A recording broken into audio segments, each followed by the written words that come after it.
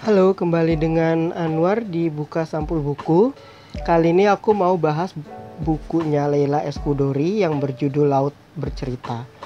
Jadi, buku ini tuh bercerita tentang kehidupan sekelompok mahasiswa yang juga aktivis untuk memperjuangkan demokrasi Indonesia di tahun 1998. Nah, jadi ini memang kita akan dibawa oleh cerita tentang tragedi 1998 itu sendiri.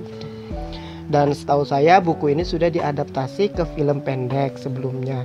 Kalau nggak salah pemainnya itu salah satunya adalah Reza Rahadian. Tetapi saya juga belum nonton karena sepertinya penayangan untuk film itu sendiri itu terbatas dan di kota saya belum menayangkan film itu. Gitu. Jadi saya belum belum nonton film itu dan cuma bisa baca bukunya. Terus uh, buku ini menampilkan dua sisi sudut pandang cerita dari dua tokoh utamanya yaitu Laut dan Asmara dengan setting waktu yang maju mundur. Nah, karena setting waktu yang maju mundur ini sebenarnya agak sulit sih karena takutnya akan membawa konfliknya duluan gitu dan klimaksnya takutnya malah duluan gitu. Ternyata walaupun settingnya maju mundur, klimaks yang dihasilkan oleh konflik itu nggak langsung ada gitu. Jadi pelan-pelan dulu gitu. Laut bercerita menurutku lebih dari sekedar buku novel yang bercerita tentang kebengisan. Jadi ini lebih lah dari itu. Buku ini itu maksudnya lebih dari itu adalah buku ini mampu membangunkanku tentang dampak dari tragedi 98 yang sangat dalam. Salah satu yang ingin ditonjolkan oleh buku ini adalah adalah dampak kehilangan dan menunggu yang tidak pasti adalah sesuatu yang menakutkan.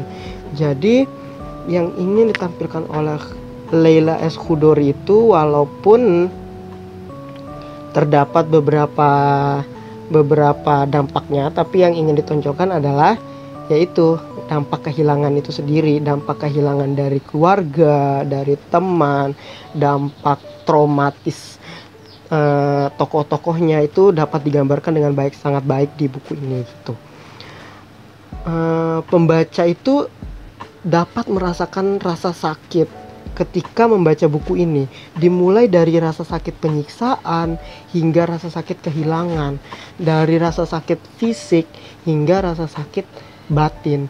Dan itu tergambar dan disampaikan oleh Leila dalam buku ini dengan sangat baik.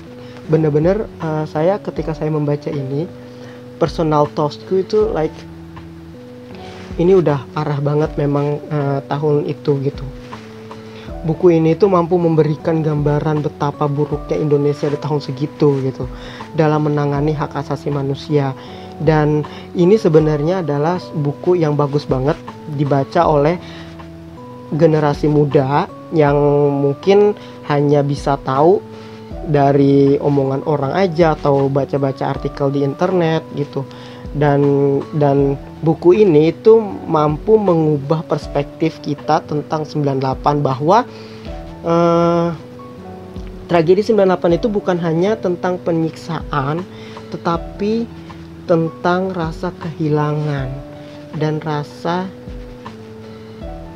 apa ya rasa rasa kehilangan ya sih rasa kehilangan orang sekitar dan teman-temannya gitu. Ini bagus sih untuk anak muda agar kita itu bisa menolak lupa menolak lupa akan tragedi itu gitu. Uh, dan yang paling hebat dari buku ini adalah buku ini mampu mendongkrak sih kalau menurutku. Mampu mendongkrak anak-anak muda lainnya. Mungkin bisa lebih lebih bersuara. Jadi kita nggak perlu takut lah untuk bersuara ketika ketika setelah membaca buku ini gitu. Harusnya seperti itu. Uh, oke okay, itu aja sih yang mau aku sampaikan. Oh ya uh, kutipan yang paling aku suka adalah begini matilah engkau mati kau akan lahir berkali-kali. Sekian. Oke itu ya yang mau aku sampaikan. Oke bye